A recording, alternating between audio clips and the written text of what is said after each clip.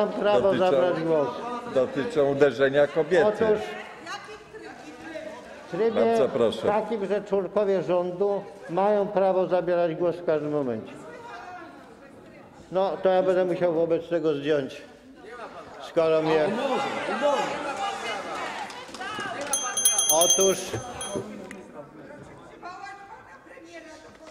Pani Panie poseł, proszę się marszałku, uspokoić. Wysoka Izbo, tu padło szereg kłamliwych zarzutów i to na zasadzie takiego całkowitego odwrócenia się od prawdy.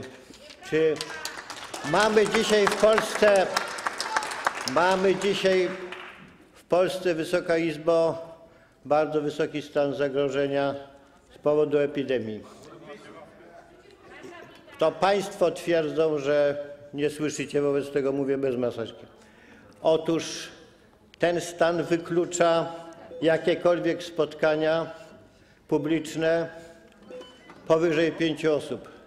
Odbywa się z waszego podjudzenia setki i tysiące różnego rodzaju demonstracji, a jednocześnie głosicie idiotyczne, no może mnie pani obrażać, ale nie jest pani w stanie. Otóż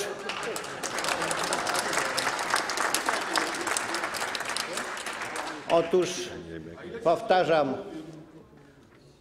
Panie Nitras, ostrzegam pana. No to niech pan nie Proszę liczy, że państwa. się skończy na jednej karze. ja sądzę, że Niech pan nie liczy. to, co dzieje Potem się na będzie tej pan sali, płakał tu i prosił, pokazuje, żeby panu darować. jaki jest wasz poziom kultury politycznej, można powiedzieć państwowej. Wy w tej chwili w imię własnych interesów, małych, brudnych interesów, interesów Nowaka, wy w imię tych interesów rozwalacie Polskę, narażacie na śmierć mnóstwo ludzi. Jesteście przestępcami, jesteście przestępcami.